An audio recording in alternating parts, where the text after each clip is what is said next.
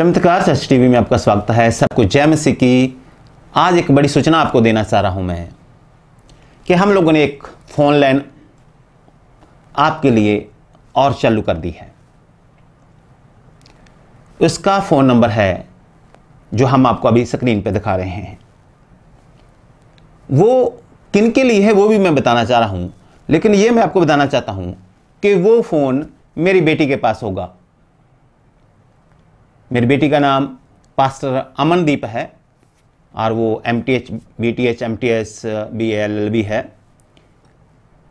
वो phone line लेकिन सुबह दस बजे से लेकर शाम पाँच बजे तक खुली रहेगी। सुबह दस से शाम पाँच बजे तक। लेकिन उस पे, उस व्हाट्सएप पे कौन मैसेज कर सकता है, कौन फ़ोन कर सकता है, उनके बारे में आपको बताना चाह रहा हूँ। जिनकी मैं भी बात करना चाह रहा हूँ, सिर्फ़ वो लोग ही मेरी बेटी से जो पास्टर है, प्रार्थना करवा सकेंगे व्हाट्सएप पे मैसेज भेज सकेंगे। जो लोग इस बात को सुनते हैं और उसके अनुसार करते हैं। कौन सी बात? लुका की अंजील, तेरह अध्याय, बीस और इक्कीस वचन। उसने फिर कहा मैं परमेश्वर के राज्य की उपमा किससे दूँ?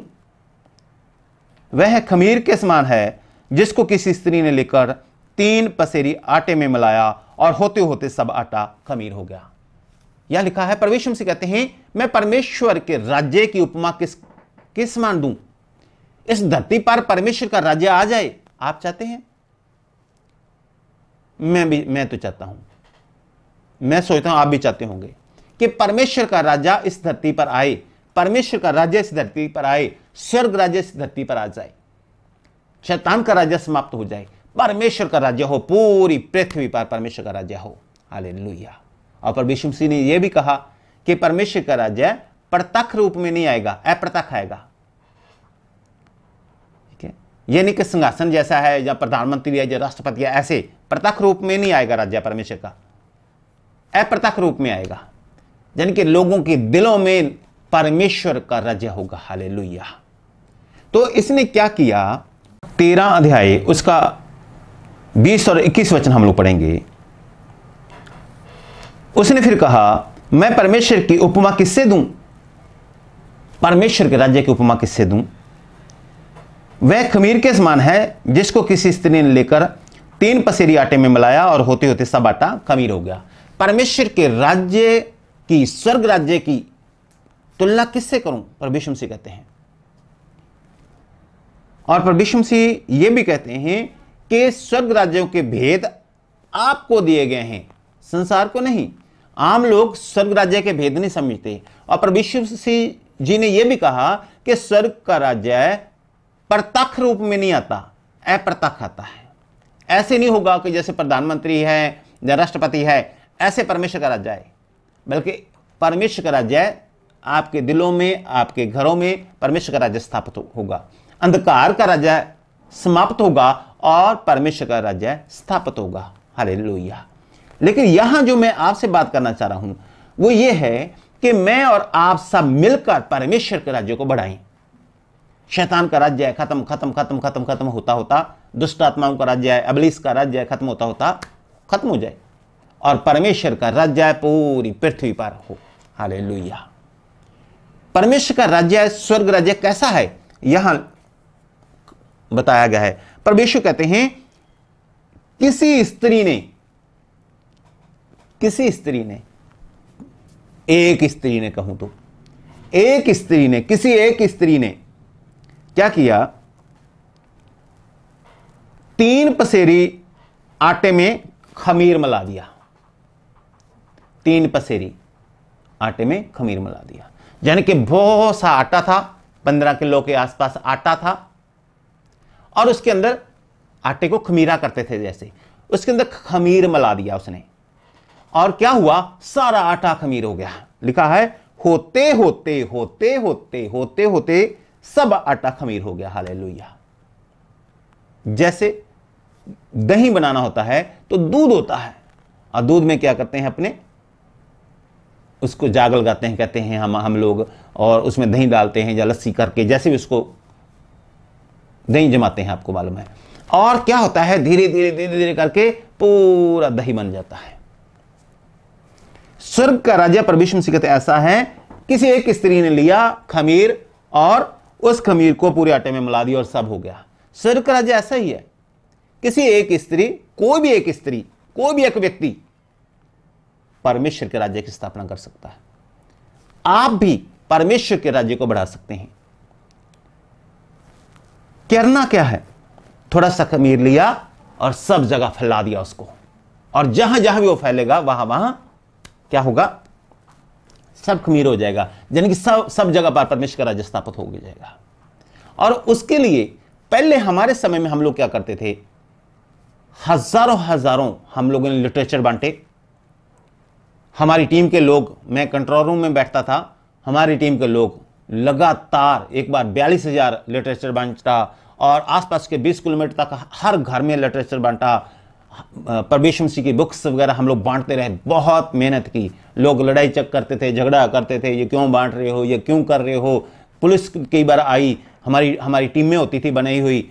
और बहुत विरोध भी हुआ, लेकिन हम भी हर घर में गेट खटखटाकर उसको दिया कि यह प्रभु का वचन है, प्रभु सिंह के बारे में आप जानिए और प्रभु सिंह आपको आशीष देना चाहते हैं। और बहुत से लोग आए भी, बहुत से लोग आए भी प्रभु में, बसों में, हम लोगों ने, रेलगाड़ियों में, सब जगह पर कारें, गाड़ियाँ रोक रोक कर उनको बांटा हम लोगों ने।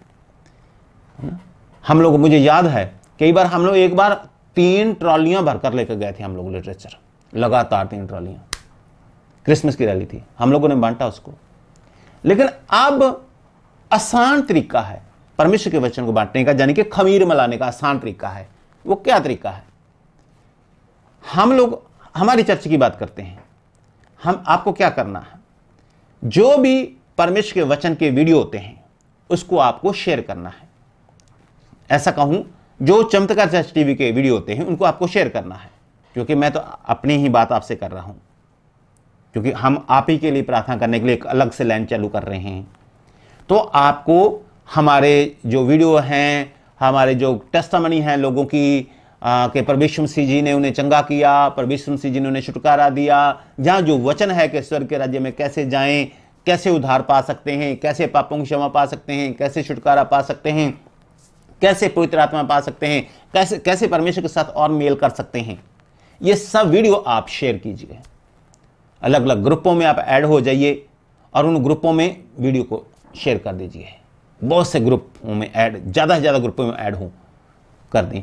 जहाँ आपके पास जितने नंबर हैं, उनका सबका एक ब्रॉडकास्ट बना लीजिए। एक ही बार आपने वीडियो उसमें डाली और सबके पास पहुँच जाएगी, आपको मालूम ही है।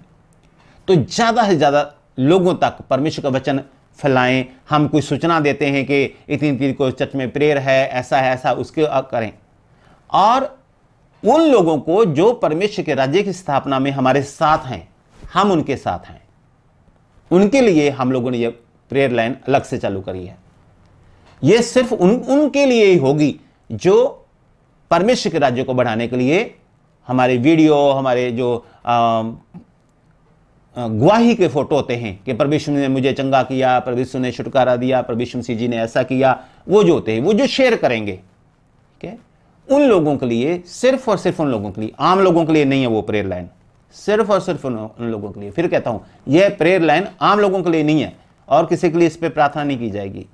सिर्फ़ और सिर्फ़ उन लोगों के लिए जो शेयर करते हैं ग्रुपों में शेयर करते हैं दूसरे लोगों को शेयर करते हैं उन लोगों के लिए है। सो परमेश्वर आपको आशीष दे एक स्त्री ने किया और सारा आटा खमीर हो गया। पर विष्णु से खुद कहते हैं और आप, हो सकता आप एक स्त्री हो, आप एक व्यक्ति हो, आदमी हो, कोई भी हो, आप अगर परमेश्वर के वचन को शेयर करते हैं, आप ये सोचें आप परमेश्वर के राज्य को बढ़ा रहे हैं, आप सुषमाचार का प्रचार कर रहे हैं, बहुत सी रूहों को आप बचा रहे हैं, आप प्रार्थना करते हैं, अपने लिए करते हैं, आप उपवास रखते हैं, अपने लिए अगर रखते हैं तो आप सब अपने लिए करते हैं, ये दूसरे लोगों को नाश होने से बचाने के लिए आप कर रहे हैं। यहोवा परमेश्वर पिता का यह दर्शन था। परमेश्वर ने जगत से इतना प्रेम किया कि उसने अपना कलोता पुत्र दे दिया ताकि जो कोई उस पर विश्वास करे वो नाश ना हो, बल्कि के जीवन पाए। यानी कि परमेश्वर पिता ये चाहते थे कि कोई भी नाश ना हो, सब सदीप के जीवन पाए। ठीक है? कोई भी नाश ना हो। आप परमेश्वर मसीह क्रूस पे क्यों बलिदान हो गए? क्यों स्वर्ग छोड़कर इस धरती पर आए? क्रूस पे बलिदान हो गए, कोड़े खाए, उसके मुँह पे थूक आ गया, क्यों ये सब सहा? कोई भी नाश ना हो। सब जगह परमेश्वर का राज्य की स्थापना हो जाए। हे परमेश्वर, तेरा राज्य आए, जो प्रार्थना हम लोगों ने सीखी हुई है। ठीक है? और परमेश्वर मसीह के चेले क्या करते थे? यही करते थे कि परमेश्वर का राज्य आए। कोई भी नाश ना हो, मेरा भी ये दर्शन है, कोई भी नाश ना हो, और आपका ये दर्शन होना चाहिए। अगर आप परमेश्वर के कार्य को करेंगे, परमेश्वर आपका कार्य करेंगे। अगर आप परमेश्वर के दर्शन को पूरा करेंगे, परमेश्वर आपका दर्शन पूरा करेंगे।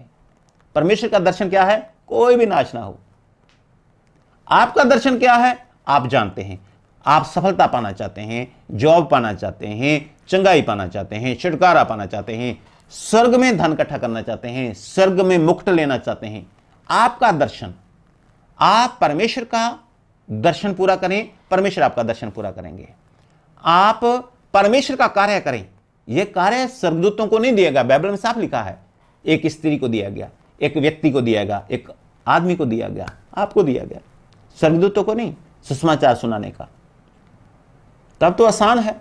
कोई विरोध भी नहीं करेगा करेगा तो करेगा, क्या करेगा? ब्लॉक कर देगा, ज़्यादा से ज़्यादा क्या करेगा? ना? तो आपको चुना है परमेश्वर ने आप परमेश्वर का कार्य करें परमेश्वर आपका कार्य करेंगे। स्वर्गदूतों को लगा देंगे आपका कार्य करने के लिए। परमेश्वर आपका कार्य करेंगे। आप परमेश्वर का कार्य करें परमेश्वर आपका कार्य करेंगे।